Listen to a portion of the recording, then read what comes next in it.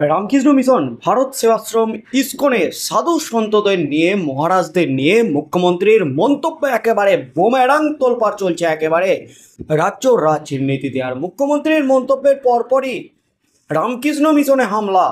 একেবারে জোরদার প্রচার শুরু করে দিয়েছে তৃণমূলের বিরুদ্ধে। বিজেপি, সিপিএম, কংগ্রেস, সমস্ত বিরোধী রাজনৈতিক দলগুলি। মুখ্যমন্ত্রীর উস্কানি দিয়ে এমন ঘটনা ঘটেছে, দাবি করেছেন প্রধানমন্ত্রী নরেন্দ্র মোদী। তার সাথে সাথে মুখ্যমন্ত্রী মমতা ব্যানার্জির বিরুদ্ধে একেবারে অ্যাকশন শুরু করে দিয়েছেন বাংলার সাধু সন্তরা। তারা সকলে একজোট। মুখ্যমন্ত্রী মমতা ব্যানার্জির এই মন্তব্যের প্রতিবাদে শুক্রবার খালি পায়ে কলকাতা রাস্তায় মিছিল করতে চলেছেন সাধু সন্তরা।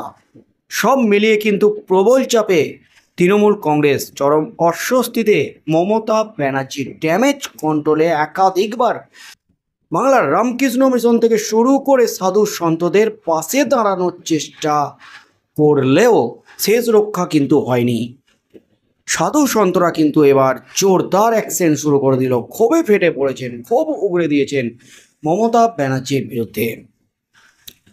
তার মধ্যেই কার্তিক মহারাজের নাম করে হুঁশিয়ারি দিয়েছিলেন মুখ্যমন্ত্রী মমতা ব্যানার্জি। আর তার পাল্টা কিন্তু কার্তিক মহারাজ মুখ্যমন্ত্রীকে হুঁশিয়ারি দিয়েছেন, চার দিনের মধ্যে ক্ষমা চাইতে হবে।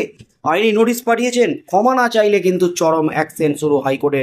যেতে পারেন কার্তিক মহারাজ। তার মধ্যে একাধিক বিস্ফোরক বাক্যবাণে জর্জরিত করেছেন মুখ্যমন্ত্রী মমতা ব্যানার্জিকে আর সাধু সন্তদের নিয়ে যখন উত্তাল জ্বলছে রাজ্য রাজনীতি, মুখ্যমন্ত্রী মমতা ব্যানার্জির এই মন্তব্যের বিরোধিতা করে যখন মুখ খুলছেন বাংলার সাধু সন্তরা, বিভিন্ন মিশনের মহারাজরা ঠিক সেই মুহূর্তে মুখ খুললেন বাংলার সংখ্যালঘু ধর্মগুরুরা, ইমামরা। মুখ খুলেই কিন্তু একেবারে বিস্ফোরণ ঘটালেন সংখ্যালঘু ইমামরা যা বললেন তাতে কিন্তু কিছুটা হলো অস্বস্তিতে, চরম অস্বস্তিতে মুখ্যমন্ত্রী মমতা ব্যানার্জি এই মুহূর্তে সবচেয়ে বড় খবর। একেবারে পোল খুলে দিলেন বাংলার আক্রান্ত সাধু সন্ত। শিলিগুড়িতে রামকৃষ্ণ মিশনে মধ্যরাতে হামলার অভিযোগ। রাজনৈতিক যোগের অভিযোগ তুলে বেলডাঙ্গার ভারত সেবাশ্রম সংঘের প্রধান কার্তিক মহারাজকে নিশানা মমতা ব্যানার্জির। এবার লোকসভা নির্বাচনের আবহে বাংলায় ভীষণভাবে সাধু সন্তরা রাজনৈতিক আঙিনায় চলে এসেছেন। এই পরিস্থিতিতে সন্তদের আক্রমণ নিয়ে কী মত ধর্মগুরুদের? এই প্রসঙ্গে মেটিয়া ব্রুজের শহরিয়া মসজিদের ইমাম আব্দুল কাদরির বক্তব্য, রাজনীতি করছেন, রাজনীতি করুন। কিন্তু কোনো ধর্ম নিয়ে মন্তব্য করা এটা সঠিক নয়। হিন্দুদের একদিকে রাখা আর মুসলিমদের আরেক দিকে রাখা সঠিক নয়। কাউকে উস্কানো ঠিক নয়। আঞ্জুমান বাহারুল মুসলিমিন মাদ্রাসার শিক্ষক মোহাম্মদ আরশাদ খান বলেন যে নেতা যে পার্টি করছেন, করুন, তাতে আমাদের কিচ্ছু যায় আসে না। কিন্তু ধর্ম যার, যে ধর্মই থাকুক না কেন, রাজনীতির ক্ষমতায় আওতায় ধর্মকে আনা উচিত নয়। একই মত প্রাক্তন মৌলবী মোহাম্মদ মোস্তাকিনের। তিনি বলেন, হিন্দু, মুসলিম যে ধর্মই হোক না কেন, সে তার নিজ নিজ স্থানে ভালো, আর রাজনীতির যেখানে প্রশ্ন, সেটাই নিজের জায়গায় সঠিক। দুটোকে কোলালে চলবে না। কারোর ধর্ম মাঝখানে নিয়ে এসে তাকে অপমান করা সঠিক নয়। তবে বাংলার রাজনৈতিক প্রেক্ষাপটে দাঁড়িয়ে সন্ন্যাসীরা আশঙ্কা করছেন, হামলা হতে পারে। বেলডাঙ্গার কার্তিক মহারাজ বলছেন, আমরা হামলার মোকাবিলা করতে প্রস্তুত। সুরক্ষার জন্য কেন্দ্রীয় বাহিনীরও আবেদন জানিয়েছেন তিনি আর তার মধ্যেই সাধু সন্তদের নিয়ে মুখ্যমন্ত্রীর এই মন্তব্যের যে মুখ্যমন্ত্রীর এই মন্তব্যের পরপরই কিন্তু মুখ খুললেন এবার মুসলিম সমাজ, ইমামরা। ইমামরা কিন্তু মুখ খুলেই বিস্ফোরণ ঘটালেন বাংলার সংখ্যালঘু ধর্মগুরুরা। এবার যা বললেন তাতে কিন্তু চরম অস্বস্তিতে তৃণমূল কংগ্রেস, মমতা ব্যানার্জি। কারণ মুখ্যমন্ত্রী মমতা ব্যানার্জি একেবারে নাম করে আক্রমণ করেছেন কার্তিক মহারাজের।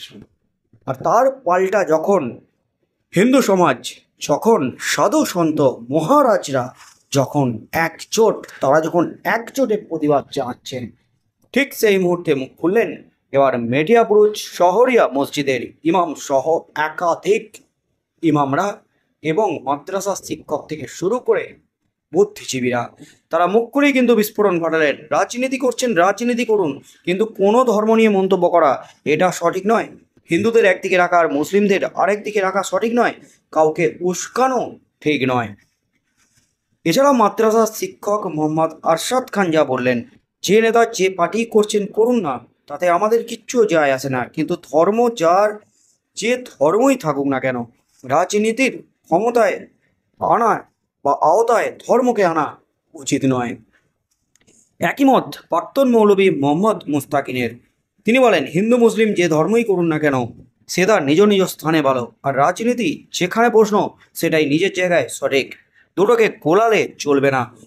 কারোর ধর্ম মাঝখানে নিয়ে এসে তাকে অপমান করা সঠিক নয়। অর্থাৎ একেবারে চাঁচা ছোলা ভাষায় কিন্তু প্রতিক্রিয়া দিলেন মুসলিম সমাজের একাধিক ধর্মগুরুরা। তার মধ্যেই কিন্তু তোলপাড় চলছে রাজ্য রাজনীতিতে।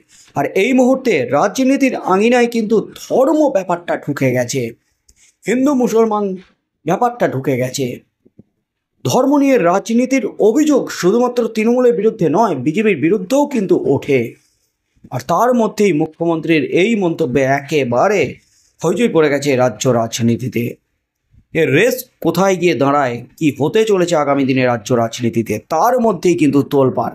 রামকৃষ্ণ মিশনের বিরুদ্ধে এফআইআর, রামকৃষ্ণ মিশনের বিরুদ্ধে জামিন অযোগ্য ধারায় মামলা দায়ের করেছে পুলিশ। সেই নিয়ে কিন্তু উত্তাল হয়েছে আবারও রাজ্য রাজনীতি।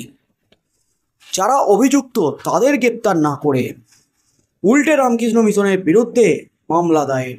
এই নিয়ে কিন্তু প্রশ্ন তুলে দিয়েছেন, ফের রামকৃষ্ণ মিশন থেকে শুরু করে ভারত সেবাশ্রম সংঘ ইস্কনের সাধু সন্তরা তাই এই নিয়ে আগামী দিনে রাজ্য রাজনীতিতে যে একটা বিরাট ঝড় উঠতে চলেছে, তেমনই কিন্তু ইঙ্গিত মিলছে।